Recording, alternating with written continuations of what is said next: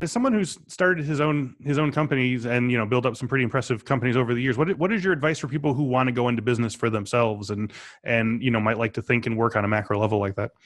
Yeah, I uh, I mean I think be prepared for I mean, being a financial, recognize that, that the first few years will be financially lean.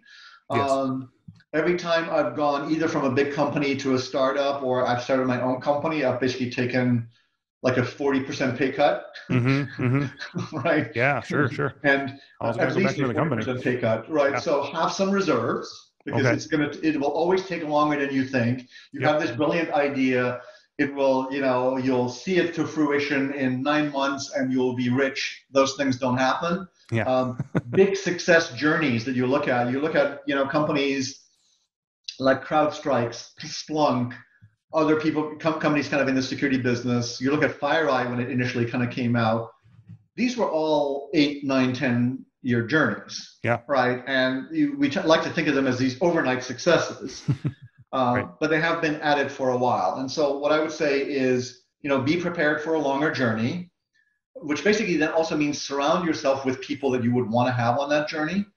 Um, have partners, uh, you know, as, as a startup, as a, as an individual, that's a hard thing to do.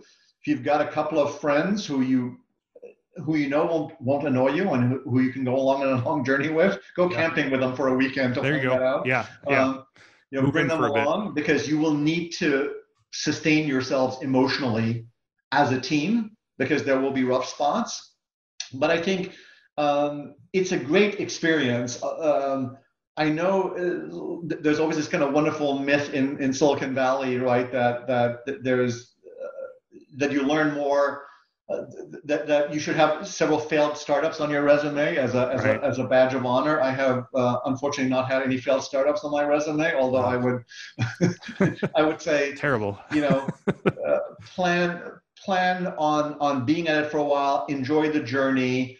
Yep. Um, have somebody with business acumen within within sure. that core team, so you are actually picking you're not just picking a problem that you can solve, but a problem, a solution that that people will actually pay you. Because I mean, that was another that was another kind of Funk Software thing that I learned from Paul Funk. Is just because there's a problem out there that you can see that you can solve doesn't mean somebody's going to pay you money for it. Oh yeah, there you go. That's a that's a good takeaway right there. Put that put that on a plaque.